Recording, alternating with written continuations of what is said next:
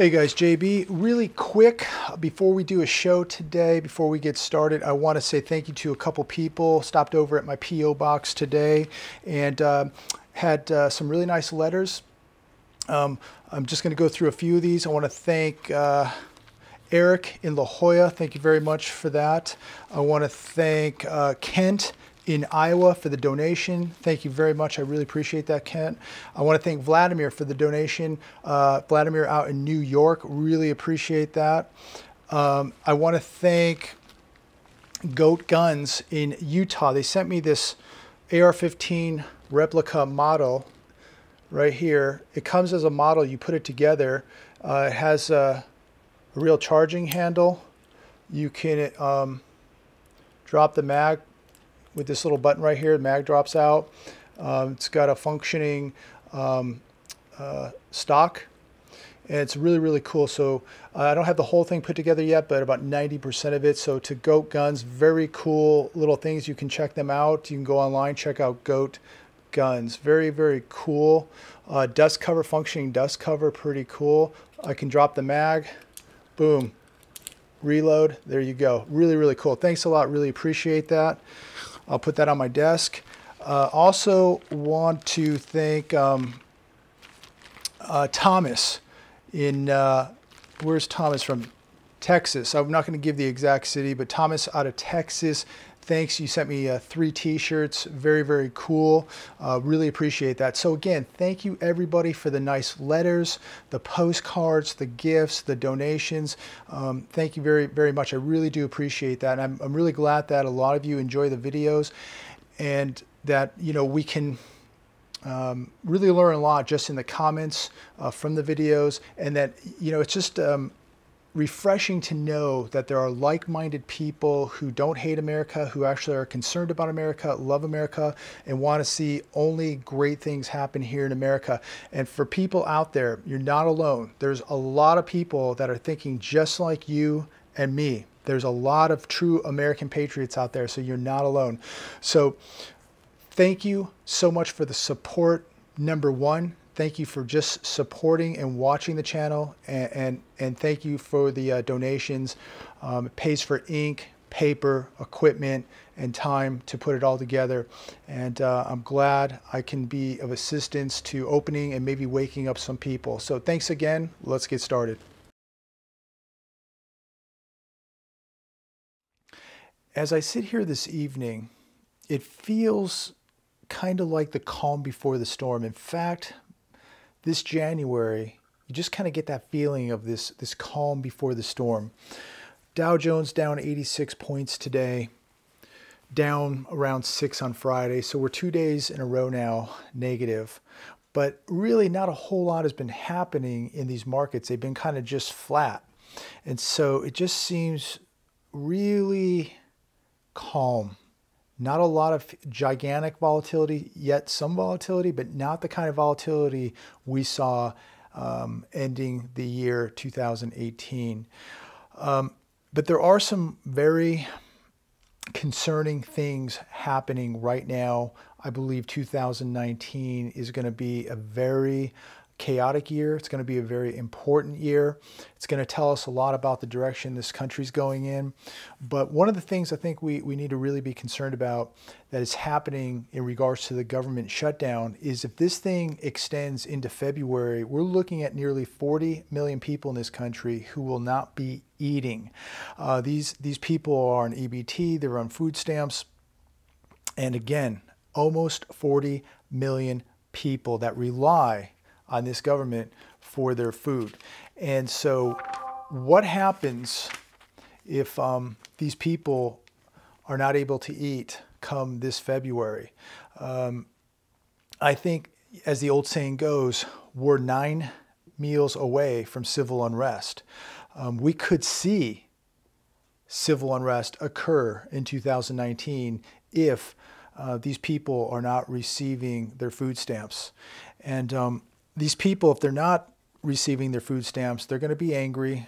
They're going to be agitated. They're going to want to lash out. And so we could definitely see some violence in the streets of America taking place early this year if this government shutdown continues uh, into February. Uh, we're really a fragile country at this point. 78% of American workers in America are living paycheck to paycheck. And you have nearly or around 100 million people on government subsidies, near 40 million Americans on food stamps in this country. So, what I find kind of interesting is yet these politicians want to continue to flood us with unskilled and uneducated illegal aliens into America. They want to keep flooding us with these people, yet we have 40 million people on food stamps. We have uh, 100 million people on government subsidies, yet we want to bring more and more unskilled, uneducated people into America to do what? We are going to lose millions of jobs in the next few years here in America due to AI and technology. These type of jobs that AI is going to be replacing are going to be these unskilled, uneducated type jobs. Why, especially, are these Democrats so keen on bringing more of these people in when we all know that millions of these jobs in, in these um, sectors are not going to be here once AI and technology replaces them. What are we going to do with all these unskilled and uneducated people in America when more AI and technology replaces their jobs? Why do they want these people in America so bad? Ask yourself that. Um, you know, we have uh, we, we've been witnessing events unfolding now in America that are, are going to set a trend for the future, that we are going to see uncertain times in America. We may see, see a shit hit the fan, an economic collapse, uh, civil unrest. There's a variety of things that we are now capable of seeing here in America.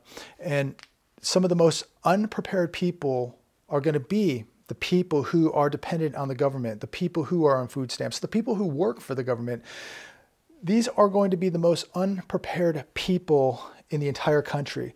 Uh, people who've trusted the government, people, again, who rely on the government. These will be the most unprepared people um, once we see a collapse, shit hit the fan situation take place. There's so many people in America that think that this could never happen. They, they think that we can never have an economic collapse in America. We can never have civil unrest in America. We can never have an invasion in America. We can never have an EMP. Our grid can never be attacked. All based on because we're America. That just can't happen. So this is the uh, mentality that we're dealing with here in America that America just can't see bad times because it's America, and that just doesn't happen to America. And this is just how unprepared 99% of this country is, and how dumbed down 99% of this country is. Um, you know, we have uh, 42% of Americans that don't have $400 saved up, don't have access to $400 cash money to fix a flat tire, to go to an urgent care when, their when their uh, kid is sick, going to urgent care if they cut their finger and need, you know, 10 stitches. They don't have $400 saved up. And it blows my mind that so many people are so naive and so dependent and trusting of the government, yet these are some of the brokest people that have nothing. Most people have no net worth. They're negative. If they die today, they would owe money. Not many people in America would could die today and actually have something to give their family members, uh, pass on to their kids. Most people would be leaving debt. So we are witnessing the dumbing down of America, the weakening of America. We're watching the um, disappearance of the middle class, the backbone of America. Um, you know, have you noticed? I don't know about you, but you know, take a drive around your, you, some of your local areas, and you're going to see four, five, six, seven, eight cars in the driveway. Why do you think that is? We're in a point now in America where people can't even afford to pay their mortgages. They're renting rooms they're bringing relatives to live with them to help pay the bills. This is the standard of living in America now, where, you know, two, three families have to live together to make ends meet, to pay the bills. Something drastically is going to have to change here in America. You know, people um, when you have half the country making $30,000 or less, what we're seeing is an implosion of, of people becoming um, indebted uh, with bills uh, people are, are living uh, paycheck to paycheck. They're living off of credit cards. They're paying bills with credit cards. They're, they're paying emergencies with credit cards. You know, it's getting harder and harder to pay your bills as the price of food goes up, your medical bills go up, yet the money you're making at work, your paycheck isn't going up. It's not keeping up with your standard of living. It's not keeping up with the real inflation. Um, you know, people, we're looking at household debt at record numbers now. It's at a record high. Um, we're looking at corporate debt at a record high. Um, you know, your income is not increasing, but your debt and your bills are you know, there's a, a lot of uh, videos out there, you know, people picking this year or that year or next year or whatever when something big is going to happen. But I think right now we're witnessing um, something happening right now. We're witnessing events taking place right now. Um, look at the retail sector getting annihilated. We look at the housing market falling off of a cliff, commercial real estate, horrible. Uh, the auto sector, um, look at the unfunded pensions. 70% of the pensions in America are unfunded. Look at Chicago, only 26% of the Chicago pensions are funded. We're looking at our, our urban cities, um, some of our big cities, our states, they're completely bankrupt, broke. Where do you think this is going to lead America? Do you really think America is heading in the right direction? I, I think all people who love this country better be very concerned where we're going and what we're going to do when we get there because I believe at some point we're going to hit rock bottom in this country. And if you're not ready for it, it's going to be an awful time for you. It, it's going to be a literal nightmare. And it's going to be rough times for the most prepared people. But there is no way America is getting out of this debt. It's not. It, there's no way we're getting out of where we're at right now without feeling severe pain. The air, you, you know, we hear about volatility, we hear about bubbles. Um, the bubble's been pricked. Air is coming out of the bubble right now. Um, we're looking at. Uh, $22 trillion of debt here in America. This was a, an article today on Zero Hedge. And if you take unfunded liabilities, Social Security, Medicare, Medicaid, uh, if you take these unfunded liabilities, we're looking at $122 trillion plus in debt just here in the United States of America. Um, so what's in store in these markets?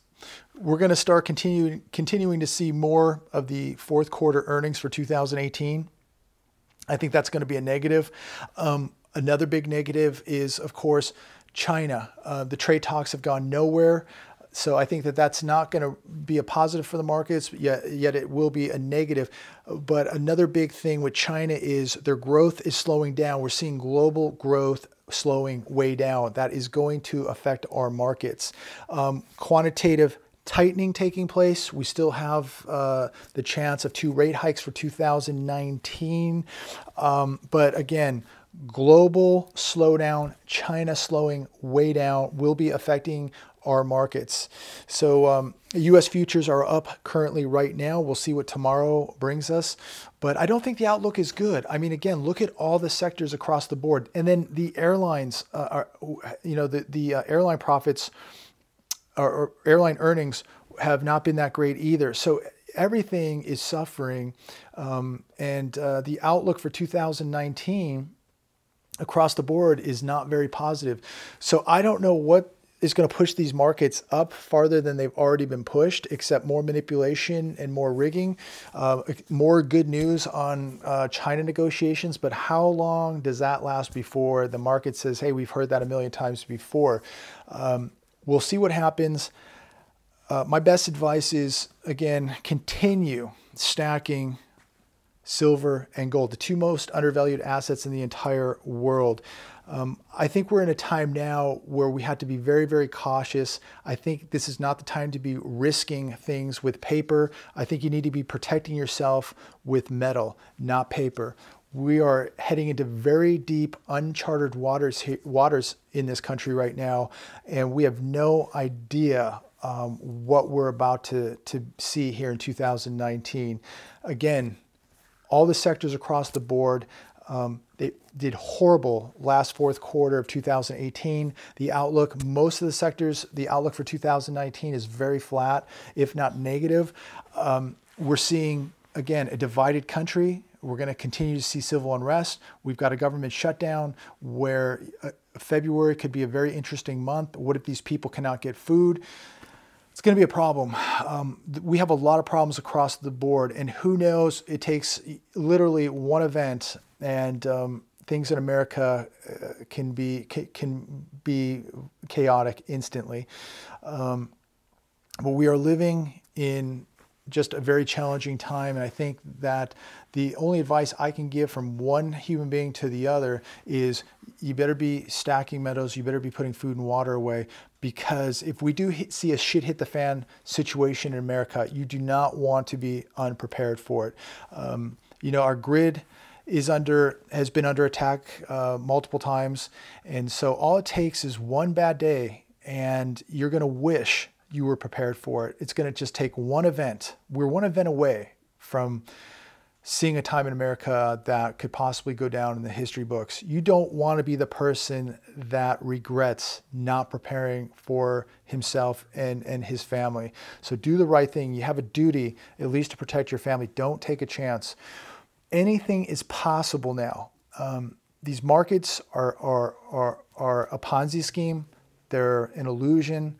Don't believe everything the media is telling you. Things are not that great. We've never seen a more volatile time or as many bubbles at once that we're seeing right now. So be prepared for it. Listen, let's pray and hope that nothing happens.